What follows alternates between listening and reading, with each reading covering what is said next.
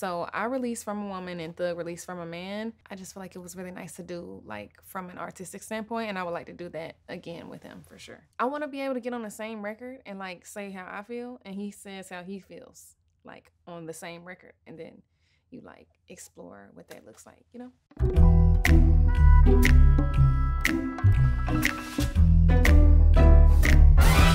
At some point in time, we had two separate video treatments that had pretty much the exact same pretense. It was just from a, a, different perspective. It's a good representation of how he feels, probably, and mine is like a good representation of how I'm feeling. Repeatedly, like, no one's ever done that. We should do it. You know, like, they can't beat us there. I close my eyes and trust your plan. Won't let no one force my hand. You've paid the cost for true romance, and you won't buy love again. Honestly, I'm talking to Jesus Christ. You know, like I'm talking to God in that first line. And then I follow it up with won't let no one force my hand. Is in obviously there's a lot of outside noise about what I should or shouldn't be doing, or like, you know, lots of opinions, but you have to stand on how you feel. Otherwise, you might as well be somebody else. I thought I'd seen it all before, but now I've seen so much more, and finally some doors will close, but here's to open windows. I was just like done with relationships and I was not gonna spin the block. And then it was like, now that all the doors are closed, there's an open window there. Still a possibility, you know? Look at the trust closing in. This is someone I can depend on, yes. Sent from above, I am convinced.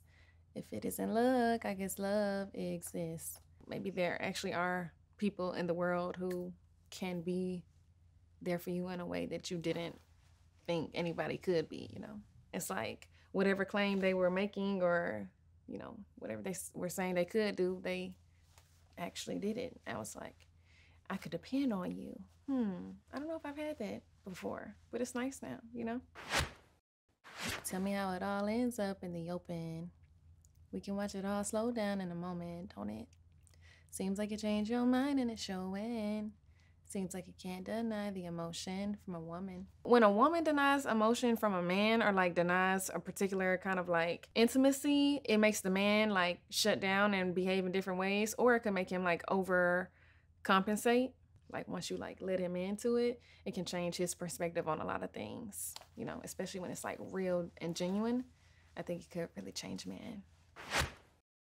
I roll the dice and take a chance won't let no one say I can't. Won't call you slime because it don't fit.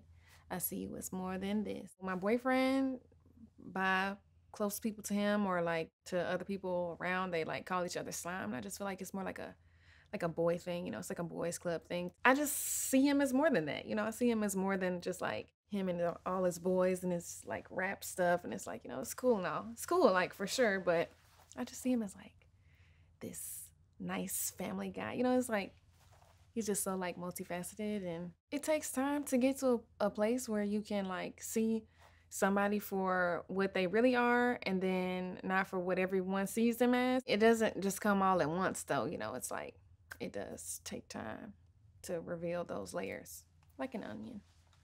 I've bought dreams not to mention. You paid me back and then some. We made a pact to listen. And now I know what I was missing. I look around, it's like animals flying around, like with the birds and the bees, and like they're always with a partner. I know this sounds like scientific, but it's like I think eventually you know what you want, you know what you have to offer, and like what kind of person you are. You meet someone who's also very knows who they are, and it's like it makes it easier to assess the situation and move forward. Yeah, I know that seems like a long winded conversation, but that is how I found what I was missing.